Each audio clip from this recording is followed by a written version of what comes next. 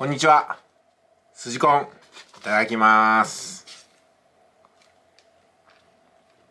うん。うん。確かにこれは、いい味出してますね。うん。歯ごたえも、いい。うん。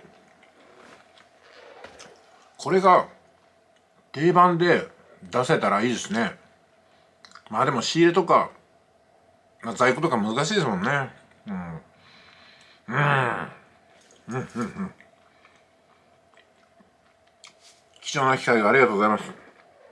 でもなんか本日限定とか個数限定で、月に1回だけ、ちょっと変わったやつみたいなのを予告付き出すっていうのはどうですかね。まあなかなかね、決まった方がずっと来るっていうパターンじゃないかもしれませんけども、どうなんですかね。常連さん多い感じなんですよ。それとも一元さんというか、うん、道すがらの方が多いのかな？うん、まあでも今回、ありがとうございます。いつもいろいろと特別扱いしていただいて恐縮でございます。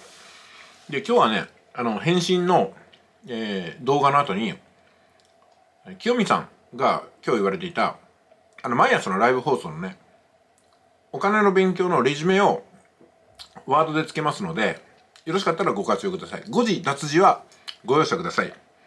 あの、メモを見ながら喋ってるその原稿でございますんでね。よろしくお願いします。あの、よろしかったらご活用いただけますようよろしくお願いします。